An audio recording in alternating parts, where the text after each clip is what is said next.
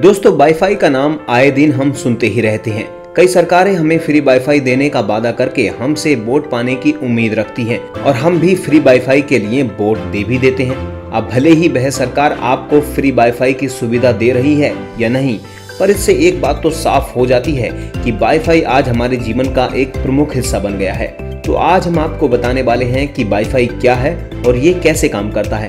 तो चलिए जानते हैं इस बारे में। क्या आपने कभी सोचा है कि एक जमाने में सिर्फ़ केबल आदि के माध्यम से ही डेटा को शेयर किया जाता था? इसके लिए हमें डेटा केबल्स की ज़रूरत पड़ती थी। लेकिन आज वाईफाई ने डेटा शेयर करने का पूरा तरीका ही बदल दिया है। आज से कुछ वक्त पहले यदि कोई कहता कि वह हवा में अपनी फ़ोटो छोड़ देगा और फिर सामने वाले को वह चीज़ मिल जाएगी तो कोई यकीन नहीं करता। लेकिन आज वाईफाई की मदद से यह संभव हो सका है। पर दोस्तों, एक बात जो मेरे दिमाग में अक्सर आती है, और आप लोग भी कभी ना कभी ज़रूर सोचते होंगे कि आखिर यह वाईफाई काम कैसे करता है?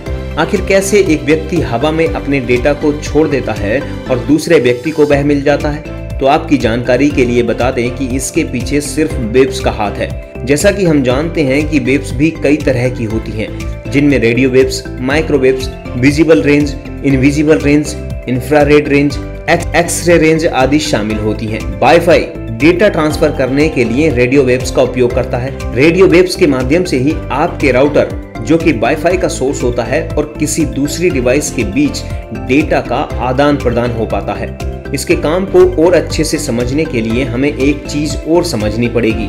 वह है हर्ट्ज हर्ट्ज फ्रिक्वेंसी मापने की इकाई है। जैसे हम वज़न को किलोग्राम में, दूरी को किलोमीटर में मापते हैं, वैसे ही फ्रीक्वेंसी को हर्ट्ज में मापते हैं। अब आप सोच रहे हैं कि आखिर ये फ्रीक्वेंसी क्या है? तो इसको बिल्कुल आसानी से समझते हैं। इसके लिए एक घड़ी के मिनट और सेकंड वाले कांटे को लेते हैं। मिनट वाला कांटा सिर्फ़ एक बार 360 डिग्री घूमता है, जबकि सेकंड वाला कांटा पूरे 60 बार 360 डिग्री घूमता है। ऐसे में यह कह सकते हैं कि सेकंड वाले कांटे की फ्रीक्वेंसी 60 राउंड पर घंटा है, जबकि मिनट वाले कांटे की फ्रीक्वेंसी एक राउंड पर घंटा है। इससे एक बात तो साफ़ हो रही है कि जिसकी फ्रीक्वेंसी जितनी ज़्यादा होगी, उसकी गति भी उतनी ही तेज होगी। यही बात वाईफाई में भी लागू होती है। वाईफाई अभी सिर्फ़ दो फ्रिक्वेंसी पर काम करता है, जो कि 2.4 गीगाहर्ट्ज और 5 गीगाहर्ट्ज है। जो 2.4 गीगाहर्ट्ज की फ्रीक्वेंसी है, उसकी गति धीमी होती है। मतलब यह उतने ही वक्त में कम डेटा ट्रांसफ़र करता है, लेकिन इसकी रेंज काफ़ी ज़्यादा है।